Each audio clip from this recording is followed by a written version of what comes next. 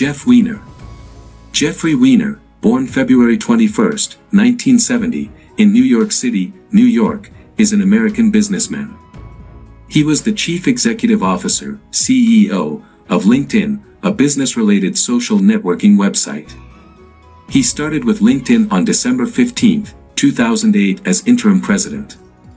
Weiner played an instrumental role in LinkedIn's acquisition by Microsoft for $26 billion, 31.2 billion in 2022, in June 2016. Currently, he is the executive chairman of LinkedIn as of 2022. He is also the founding partner of NextPlay Venture Capital. Early life and education. Weiner graduated from the Wharton School of the University of Pennsylvania in 1992 with a Bachelor of Science in Economics. Career Weiner served in various leadership roles at Yahoo for over seven years beginning in 2001, most recently as the Executive Vice President of Yahoo's Network Division. As EVP of Yahoo, he led a team of over 3,000 employees, managing products reaching over 500 million consumers.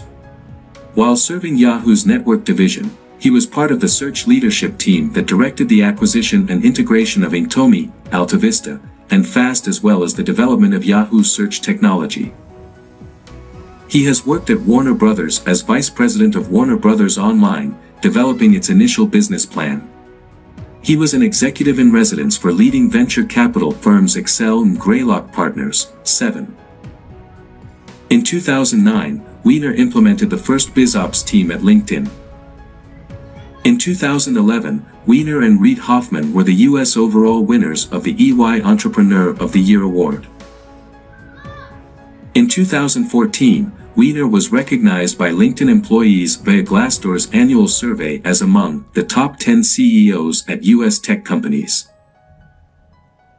In 2016, Weiner received media attention for donating his $14 million stock bonus to the pool for LinkedIn employees following a drop in share price.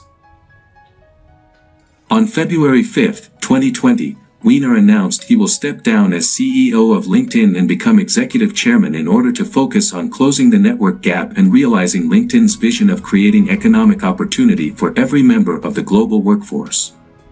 He named Ryan Roslansky as his replacement. Other interests